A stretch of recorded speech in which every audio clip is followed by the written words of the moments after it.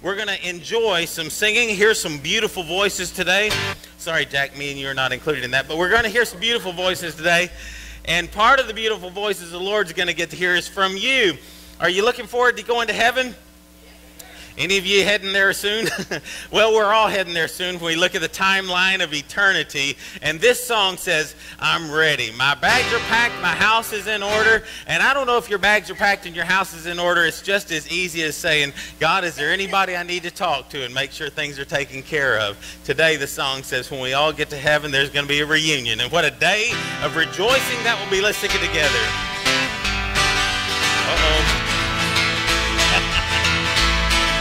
Guitar's running in wrong gears today. I'm not sure why. I might have needed to oil it.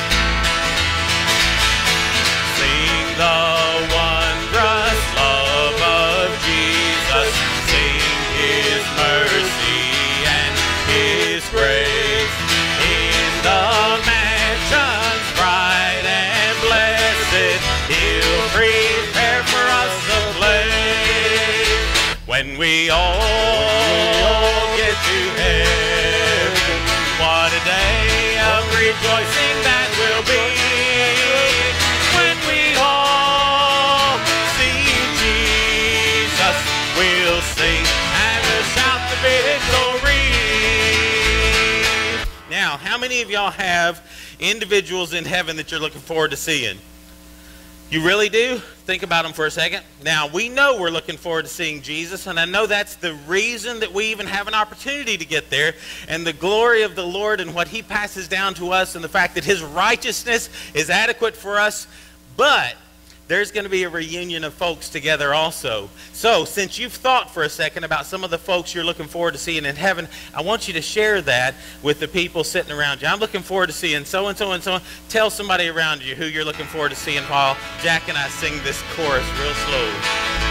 When we all get to heaven, what a day of rejoicing that will be.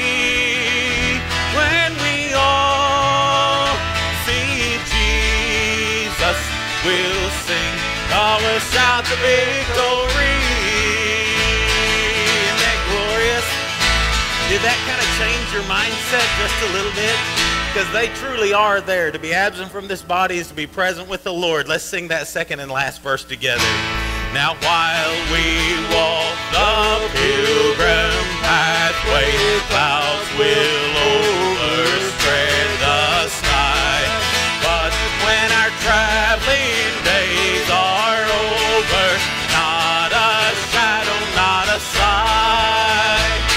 we all